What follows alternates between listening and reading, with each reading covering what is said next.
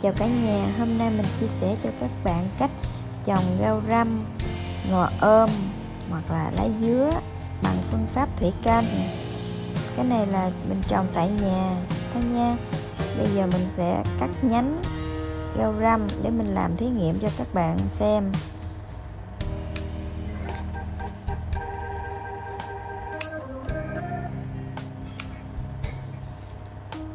sau khi mình cắt nhánh thì mình ngắt lá mình ăn, hoặc là mình bỏ đi để mình nhâm cành.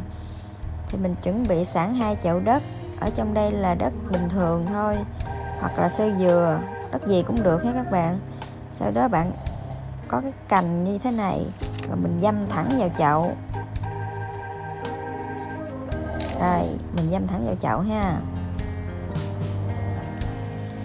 Xong rồi mình sẽ chuẩn bị một cái thau nước, mình ngâm nó vào đây cứ để nó y như vậy. Thì sau khoảng 2 đến 3 tuần sau, cái nhánh viêm của hôm trước thì nó sẽ phát triển và rễ nó rất là nhiều. Bạn có thể làm với các cành nó số lượng nhiều, nên mình chỉ làm mẫu cho các bạn xem thử thôi ha. Nó rất là khỏe luôn, mình không phải mất thời gian mình tưới nước.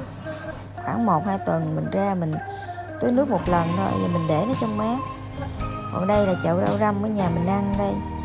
Mấy năm trước mình trồng nhiều lắm, ăn không có hết. Cho nên năm nay mình trồng ít lại, trồng hai chậu thôi, lúc nào ăn cũng có. Thì mình cứ để trong cái thau nước mình ngâm như vậy, ăn tới đâu mình cắt tới đó. Có ăn quanh năm luôn. Đây, cho các bạn xem rễ nó mọc ở dưới đầy luôn nè. Nó bò ra, nó hút nước ấy ăn thì mình chỉ cắt cái cành ở trên thôi là nó ra cái mới tiếp tục nữa. Cái phương pháp này rất là tiện lợi cho những bạn không có thời gian chăm sóc nó.